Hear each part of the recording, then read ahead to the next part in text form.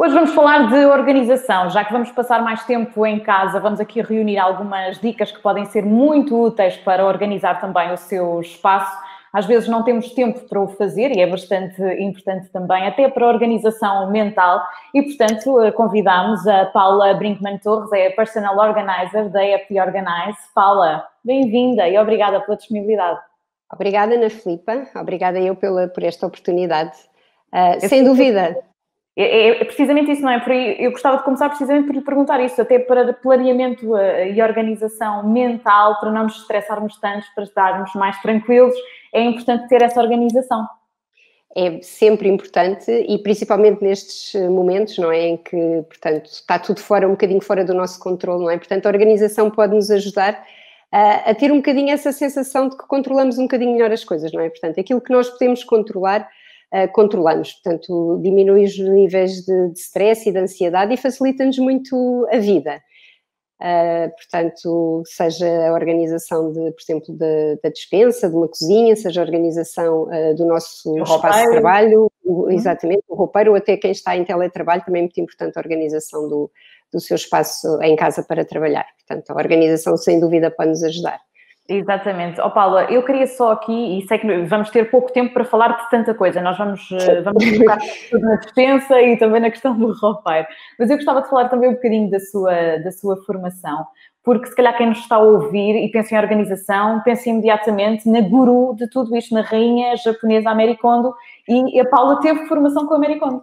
Exatamente, sim. A Marie Kondo, eh, ela ficou ainda mais famosa o ano passado com a série da Netflix, uh, portanto, em que, se, em, em que, ela explica um bocadinho o seu método.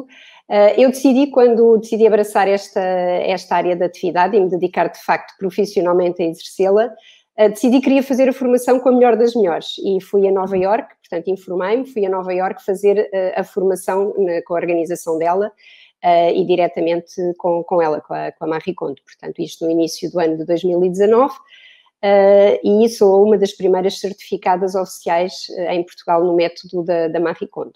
Muito bem, então vamos falar de, de, cozinha e vamos focar na dispensa, Paula. E por onde é que começamos quando queremos organizar a nossa dispensa lá em casa? Por tirar tudo para fora. Ou seja, uh, como, aliás, como, como em qualquer outra, outra área, outra categoria, portanto, nós devemos começar de facto por retirar tudo para fora da dispensa. Uh, e isto, pronto, muitas vezes pode parecer assim um bocadinho uh, demasiado, não é? Uh, mas são coisas, portanto, e nós desde que saibamos lidar com, com as várias etapas, portanto, devemos ficar tranquilos e não nos assustarmos com aquele impacto inicial que o facto de retirar tudo de dentro do, de uma dispensa ou dos armários pode provocar. Portanto, o primeiro passo será, sem dúvida, retirar tudo da dispensa, aproveitemos para limpar, não é? Aqueles, aqueles recantos que muitas vezes estão um pouco inacessíveis. Uh, o segundo passo será, portanto, depois de termos tudo cá fora, ir verificar os prazos de validade. Ok? Eu ia portanto, perguntar vamos... precisamente isso, porque nós às vezes vamos acumulando coisas no fundo do armário que depois acabam por passar, não é? O prazo de validade uhum. acaba por, por prescrever, portanto, vai passando, e são coisas que nós nunca mais nos lembramos. Portanto, é verdade. fazer a é verdade, uma dispensa, se não estiver bem organizada, uh, tem dois grandes problemas, porque se não está bem organizada, a principal consequência é que nós não, sabemos o que é que lá está, não é? Portanto, perdemos a visibilidade e perdemos um bocadinho a noção do que, do que temos. Isso leva-nos muitas vezes, lá está, a deixar expirar prazos de validade, não é? Uh, e a comprar em duplicado, não é? Que quando, quem, uh, acho que muitos de nós já nos aconteceu, irmos comprar uma coisa e chegamos a casa e afinal descobrimos que estava lá no fundo da dispensa. Portanto, tiramos para fora Começamos por verificar os prazos de validade. Tudo o que já não está em condições deve ser uh, descartado. Atenção que às vezes há produtos que, mesmo que o prazo de validade já tenha passado, desde que não seja demasiado, podem ser ainda consumidos. Uh, pronto, não vou agora entrar aqui em detalhes porque depende de produto a produto e, aliás, há organizações como a ReFood que até recolhem alimentos, uh, sei lá, como massa, arroz, que tenha passado um pouco uh, e que ainda estão próprios para consumo. Portanto, depois de fazer essa filtragem, uh, dos prazos de validade, vamos então um bocadinho uh, dividir os produtos que vamos guardar por categorias, ou seja, vamos agrupá-los. E este, esta categorização uh, é sempre muito personalizada, ou seja, eu quando trabalho com as minhas clientes ou os meus clientes, primeiro tento sempre perceber um bocadinho como é que as pessoas pensam, não é? Porque cada um de nós categoriza uh, as coisas de uma maneira ligeiramente diferente. E vou dar um exemplo. Há pessoas, por exemplo, que gostam de ter na despensa uma área dedicada ao pequeno almoço. Uh, e em vez de terem, por exemplo, os cereais de um lado, uh, sei lá, o, as compotas do, noutra zona da despensa, não. Querem ter um, ali na mesma, na mesma zona tudo aquilo que, que usam para o, pequeno, para o pequeno almoço. E podemos, por exemplo, criar uma área de pequeno almoço, em que é lá colocado tudo aquilo que normalmente é consumido para o pequeno almoço. Um, ou, por exemplo, podemos agrupar enlatados, uh, podemos pôr massa, arroz uh, e pronto, e sei lá, uh, esse tipo de coisas noutra, noutra zona, bolachas e snacks. Portanto, vamos categorizar daqui, de, de acordo com aquilo que faça sentido para nós.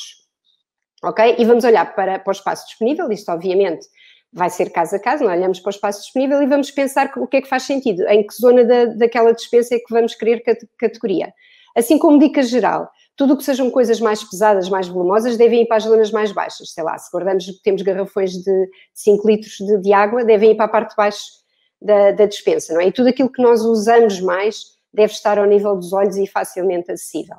Outra dica importante é depois de criarmos estes grupos, tentar, por exemplo, uh, há imensas soluções no mercado, desde cestas a caixas, a caixas transparentes, sem ser transparentes, não é? Por exemplo, colocar os pacotes de arroz, de massa, ou que seja, dentro desses organizadores e, uh, portanto, tê-los juntos e colocados assim na, dentro da dispensa. Porquê? Porque é muito mais fácil depois nós puxarmos, se não é uma dispensa, por exemplo, que tenha aquelas prateleiras ou cestos que, que correm, não é? Nós puxarmos mesmo estes organizadores e vermos o, o, o que está.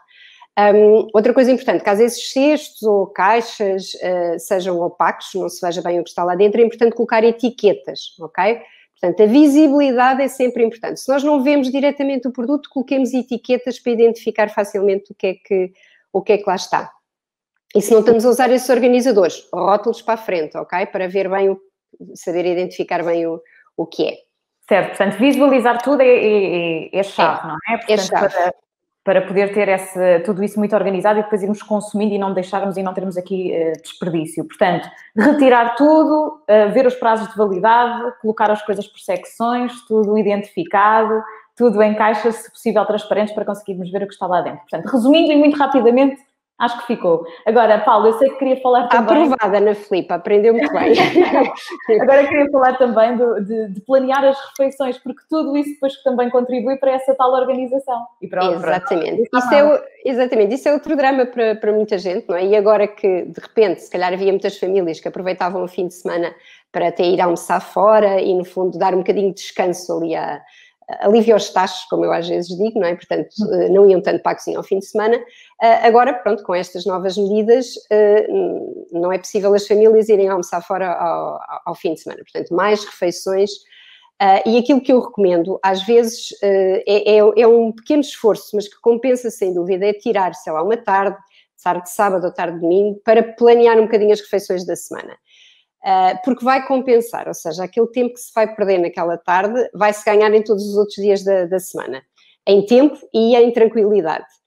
Primeiro, uh, também começar e depois de terem organizado a dispensa, não é? Que já sabem exatamente tudo o que têm na dispensa, vão começar, part... esse é o ponto de partida, é no fundo a noção daquilo que se tem em casa, não é? E a partir daí já podem ter algumas ideias de, de refeições.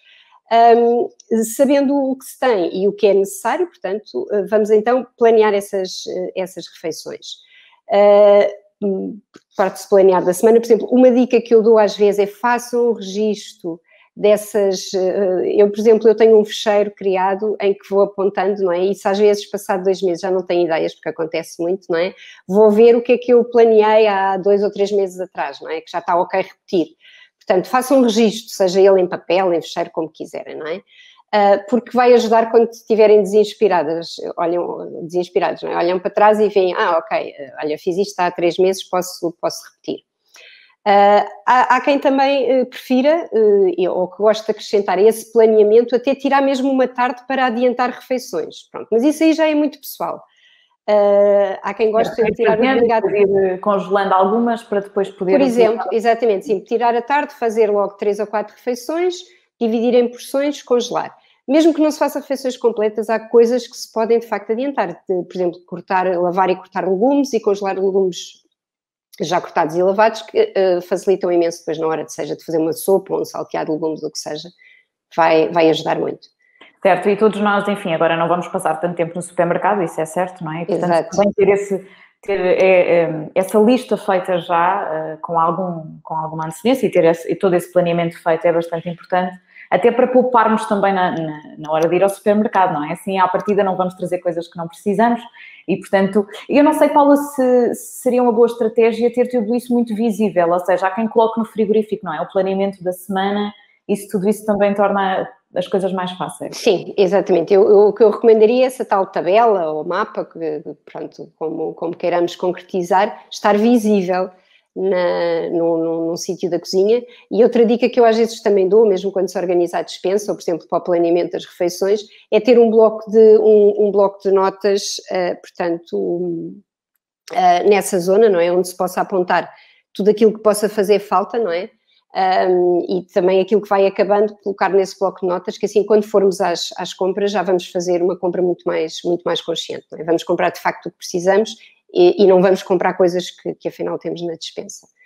Muito bem. Eu não sei se também ajudará nesta questão da organização do frigorífico. Há pouco falávamos da questão de, de ter aqui aquelas caixas mais transparentes, não é? Para percebermos aquilo que está dentro está dentro dessas caixas, as etiquetas também, isto também é válido para depois a organização da comida no frigorífico, por exemplo, é? Também, exatamente, sim. Aí no frigorífico também há várias soluções. As caixas de acrílico, apesar de serem às vezes um bocadinho mais, mais caras, mas são, é o ideal, não é? Vemos tudo. Um, e, por exemplo, eh, muitas vezes quando, quando organizo frigoríficos, uma das coisas que recomendo, lá está, até no frigorífico podemos ter a tal separação, por exemplo, as coisas do pequeno almoço, não é? Que é assim, o queijo, o fiambre, uh, pronto, a manteiga, aquilo que se usa no, ao pequeno almoço, que rapidamente, no fundo, se possa pegar naquela, naquele contentor, naquele, naquela caixinha de acrílico e até levar diretamente para, para a mesa e ter outra zona, por exemplo, com as coisas abertas ou as coisas que têm que ser consumidas mais rapidamente. Portanto, é importante, de facto, termos consciência do que temos, ah, das validades, para não, pronto, para não deixar estragar e consumirmos, de facto, o que é necessário consumir mais, mais rapidamente. Muito bem, vamos passar para o roupeiro, Paula, e agora eu sei que... Sim, uma transição. Sim, temos muita gente a ouvir que tem imensa coisa, e agora no inverno, com os casacos, às vezes é um problema conseguir organizar tudo. Portanto, vamos lá, qual é o primeiro passo novamente? Uh, o primeiro passo, isto é, é, pronto, é, no fundo é a filosofia, muito filosofia da, da Marie Kondo, para qualquer categoria que nós tenhamos numa casa ou quando nós queremos organizar algo na nossa casa, é sempre, e até se aplica à dispensa, uma coisa tão hum, básica, digamos assim, e tão uh, uh, terra a terra como, como comida, não é? Mas é, o primeiro passo é sempre visualizar o que é que nós queremos, ok? Portanto, qual é que é o meu objetivo para, para o meu roupeiro? Como é que eu imagino o meu roupeiro ideal, não é? Que, que sensações é que eu quero ter? Quero abrir o roupeiro e vê-lo todo organizado por cores, Uh, quero abrir e saber exatamente o que tenho, não é? Poder realmente escolher uh, a minha roupa muito rapidamente. É sempre, o primeiro passo é sempre visualizar e estabelecer o objetivo. Porquê? Porque isso vai-nos manter a, motivação para, para todo o processo, porque, mais uma vez, o processo de organização uh, pronto, tem os seus altos e baixos e, e, vamos sempre passar por um ponto em que vai começar a estar pior antes de começar a melhorar, não é? Portanto, é muito importante termos essa visualização e esse, esse objetivo na, na cabeça quando vamos, quando vamos organizar. O segundo passo, tal como na, na dispensa, é tirar tudo para fora. É um pode ser um choque, não é? Temos muitas coisas, demasiadas é, coisas. Exatamente. Normalmente é um choque e é rara a, a, pessoa com quem eu trabalho que não fica assim, mas eu, eu tenho tudo isso. Eu não, eu não, sabia que tinha tanta coisa, não é? Portanto, as pessoas normalmente não têm noção da quantidade de coisas que, que têm. Digamos que o ideal e o ideal, e, e no fundo que o método KonMari, que é o método da Marie Kondo, um, defende seria retirar mesmo tudo ao mesmo tempo, fazermos a tal pilha de choque. Claro que na prática isso nem é sempre possível, não é? Quer dizer, se estamos a falar de uma casa pequena uh, e que vamos ter que retirar tudo para cima de uma cama, não é? A cama onde a pessoa depois vai ter que ir dormir, e se calhar, se, se a quantidade de peças é muita, não é realista que façamos aquilo tudo no, no dia, não vamos estar a uhum. tirar tudo, não é? Se não conseguimos tirar tudo, vamos tirar por, uh, por categorias, por subcategorias. Por exemplo, se vamos tirar os casacos, um, e agasalhos. Vamos tirar eh, as partes de cima, não é? Blusas, t-shirts e depois eh, vamos tirar partes de baixo, calças, saias, calções, etc. O que é muito importante é, para cada categoria, vamos dar o exemplo de casacos. Se vamos se, uh, organizar casacos, vamos ter a certeza que temos todos os casacos uh, no mesmo sítio, que juntamos todos os casacos no mesmo sítio, independentemente se eles estão no roupeiro do quarto, no roupeiro do corredor, se estão pendurados no bengaleiro da entrada, se estão atirados para, para cima do sofá da sala, se estão na cadeira não sei onde, portanto, vamos buscar tudo e juntamos tudo no mesmo sítio. Ok? Isso é, isso é importante.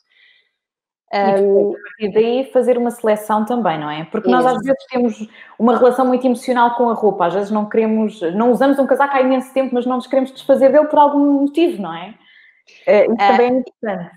Falar e, isso é a grande parte do papel de uma, de uma personal organizer quando, quando está a trabalhar com, com, com os seus clientes, porque é de facto muito difícil para a maior parte das pessoas o desapego.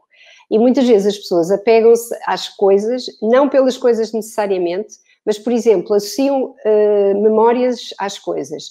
E, e é parte do, do meu trabalho, muitas vezes, colocar, é parte não, é, uma, é uma, uma, parte fundamental do meu trabalho, colocar, ir colocando questões, não é, que ajudam de facto as pessoas a perceber se faz ou não sentido manter aquela peça. Uh, porque, por exemplo, nós uh, não vamos perder as nossas memórias, não é? Não vamos perder o nosso passado por deixarmos ir uma peça física uh, que de certa forma associamos àquele passado. As memórias ficam, nós não precisamos de coisas, das coisas necessariamente para, para manter essas, essas memórias. No entanto, atenção, eu não forço nunca ninguém a, a, a, a deixar ir coisas com as quais não se sintam confortáveis de deixar ir. Agora, o que eu digo é, se realmente é uma peça importante e realmente sentimental, então vamos lhe dar destaque, vamos lhe dar o protagonismo que ela merece. Agora, se está ali, no fundo do, do roupeiro, toda embrulhada, toda já a mofar, ou se está tirada para uma caixa na arrecadação, isso não é forma de honrarmos uh, as tais memórias que tanto dizemos que, que queremos guardar, não é? Uh, portanto, a seleção é de facto uh, importante e eh, quer estejam a fazer com, com uma personal organizer, quer sozinhas em casa, é ir colocando questões. Por exemplo, quando é que foi a última vez que eu usei isto? Um, como é que eu me senti quando eu usei isto? Isto é uma questão muito importante. Uh, quem segue a Marie Kondo e o método dela, uh, a famosa fa frase, não é, em inglês, does it spark joy? Ou seja, inspira alegria. E o inspirar alegria é algo muito intuitivo. Nós sabemos, de facto, nós devemos pegar nas coisas na nossa mão. Não é só olhar para, para elas, não é? Mas é, de facto, pegar nelas, sentir e nós instintivamente sentimos se aquilo nos, nos pronto, se nós gostamos ou não daquela peça, não é? Como é que eu me senti quando vesti aquela peça da última vez? Senti-me bonita? Senti-me a melhor versão de mim mesma? Estou com vontade de voltar a vestir? Outra pergunta, por exemplo, é: e voltava a comprar hoje? Portanto, há uma série de questões que, que nós podemos colocar, não é? Que, que nos vão ajudar a decidir se faz sentido manter ou não. Certo, e feita essa seleção, por exemplo, em relação às partes de cima que, que, a Paula dizia, falava há pouco disso, como é que nós depois dobramos isto? É que também sabemos que, lá está, ter tudo de forma muito visual é muito importante, até na altura de escolher, que depois torna-se muito mais rápido. Exatamente. É assim, o meu conselho é sempre, e se o espaço é um problema, uh, o meu conselho é dobrem tudo o que possa ser dobrado. Um, e a Marie Kondo tem, tem a sua, pronto, não é exclusiva atenção do método da Marie Kondo, mas são as tais dobras que permitem colocar as, as peças uh, na vertical. Uh, pronto, eu tenho aqui até, posso só mostrar muito rapidamente, no fundo estamos aqui a falar de t-shirts dobradas, estão numa caixinha, podem ir para dentro de gavetas, podem Sim. ir para dentro de, destas caixas, uh, em que no fundo, portanto, nós dobramos as peças assim, verticalmente, e vão arrumadas desta forma, para, para dentro das gavetas. Quando nós abrimos uma gaveta ou puxamos esta caixa que pode ir para, para uma prateleira, nós vemos imediatamente tudo aquilo que temos. Uh, ao contrário, por exemplo, quando guardamos as t-shirts, como tradicionalmente muitas vezes se fazia, em pilhas, não é? Em, em que, e, por exemplo, eu dou sempre este exemplo, os meus filhos, uh, que tinham isto assim, antes de, de, eu aplicar este método cá em casa, usavam sempre as primeiras três t-shirts do monte, porque tinham preguiça de ir puxar uma que estava lá por baixo. Portanto, só passaram a usar de facto tudo aquilo que tinham quando as coisas passaram a estar uh, organizadas assim na, na, vertical. Portanto, dobrar tudo o que se pode, uh, uh, colocar na, na, vertical. E atenção que há imensas coisas que às vezes as pessoas acham que não podem ser dobradas e que podem. A maior parte das calças pode ser dobrada, exceto tecidos que marquem muito, mas calças de ganga, calças de sarja, calças de, pronto, fazenda. Um, se, se aplicarmos bem a técnica das dobras, uh, poupa imenso espaço e de facto não, não vinca, porque o que vinca é o peso. Se as coisas estão colocadas desta forma e não estão uh, apertadas, uh, não, não vai criar um, um, problema em termos de fingos. Muito bem, portanto, Paula, também é importante ir fazendo aqui uma revisão de tudo isto, diria, não sei, mensalmente, irmos vendo mensalmente aquilo que, que já fomos usando, que não? É sim, o que eu aconselho as pessoas a fazer e depois de terminarmos o processo da organização, não é? E lá está, depois é importante, para além deste tema de dobrar tudo o que se, o que se pode, não é? E depois termos retirado as coisas do armário, do roupeiro, olhar e tentar perceber como é que vamos depois organizar, uh, colocar as, as, várias categorias nas diferentes áreas. Um, e, e essa, se essa organização do espaço, se essa categorização é feita, lá está, novamente, de acordo com a forma como a pessoa pensa. Por exemplo, uh, e com os hábitos, com as rotinas da pessoa. Se eu penso assim, ah, eu hoje quero me vestir de amarelo, por exemplo, não é? Uh, então eu devo, se eu penso em cores quando vou escolher a roupa, então eu devo ter uh, uh, a roupa organizada por cores. E visualmente fica, eu, eu, gosto muito de organizar por cores porque também transmite uma sensação visual muito, muito boa. ou se eu penso, por exemplo, quando eu vou me vestir, eu escolho primeiro a parte de baixo. Um, então as partes de baixo devem estar no, numa zona do armário facilmente visível. Uh, portanto, é uh, organizar no espaço as categorias de acordo com a forma como eu penso e de acordo com a minha rotina e decidir uhum. um espaço para cada, para cada coisa, uma zona para cada tipo de peça. E aí vai ser fácil manter a organização. No entanto, digamos que no mês seguinte a termos as coisas organizadas, muitas vezes, quando as pessoas vão começar a usar, vão perceber que têm que fazer ligeiros ajustes. Portanto, nesse mês seguinte, dizem que são precisos 21 dias para nós, consecutivos para nós adquirirmos um, um novo hábito.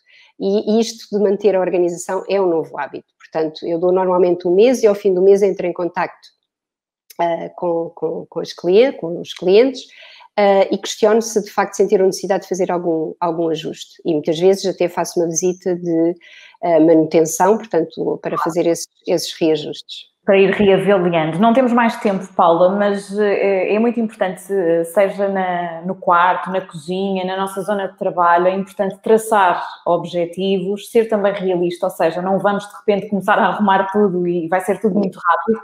Há situações que demoram tempo, não é? E, portanto, ser realista também nisso é, é, importante, mas aproveitar este tempo que estamos em casa também para organizar coisas e, como eu dizia no início, às vezes não temos tanto tempo quanto, quanto gostaríamos no nosso dia a dia e já que agora o temos de forma às vezes forçada, portanto, é aproveitar também para Acho organizar. Para, Vamos aproveitar. Um ambiente mais calmo também.